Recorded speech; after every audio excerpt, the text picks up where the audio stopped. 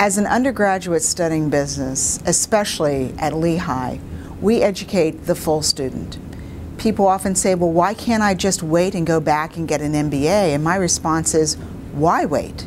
From accounting to finance to marketing to management, it's all there. We have a placement rate that is enviable. Come visit, take a look at our program. You'll find that we are unique in the marketplace. We're a small school with big school swagger. We love it here.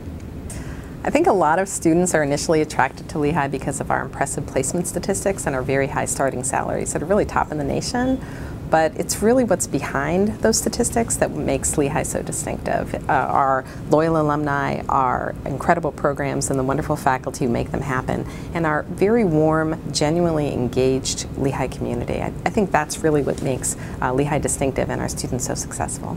Lehigh has an incredible, a staggering number of majors and options available to students. We have eight majors from uh, accounting, business information systems, economics, finance, marketing, management, supply chain management, and you can do double majors within that. I think our students have a lot of opportunities in our engaged campus. They have the opportunity to get to know their faculty better. They can work together more closely in small classrooms. They can get to know their faculty outside the classroom and work together with them. I think our students also have the opportunity to be known. Uh, they have the opportunity to get involved in clubs and organizations and make, make real impact in the community so that they can do all of that before they graduate.